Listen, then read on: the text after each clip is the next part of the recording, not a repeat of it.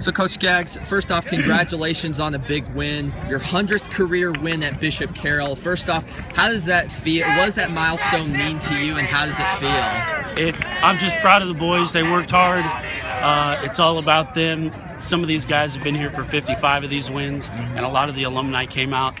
They were part of those early wins, but uh, it means we get to go on.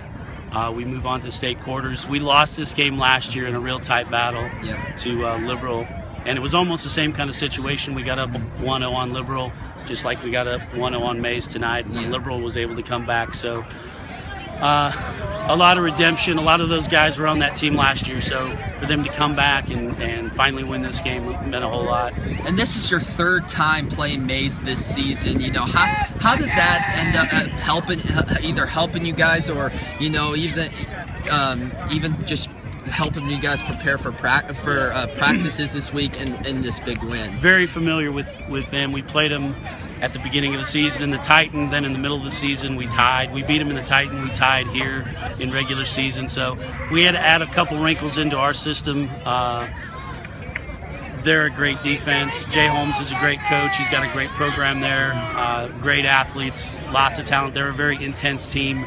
Uh, they come hard to every single ball.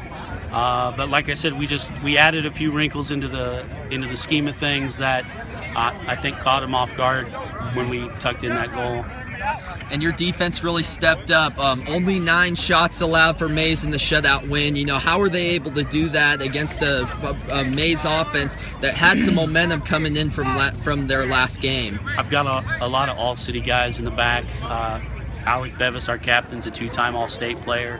He was first team All-City this year. Was first team All-City last year. Uh, he's the rock back there. Ryan Griffin is, is right there with him. Dylan Albers on the outside. Uh, my lone senior back there. Uh, all three of my captains are there. And then Aaron Valenciana, sophomore, played on the outside left. Uh, just got beat up all day, but just kept getting up and, and kept playing hard. So starting there with the back line, and then Daniel Raya right in front of him as my defensive midfielder. Uh, just did a great job calling for balls and winning balls, and uh, you get one of these. um, and uh, then we've just we've got Victor and Corbin up in the middle. Dawson is just a great ball controller, and we just got 11 really really strong guys.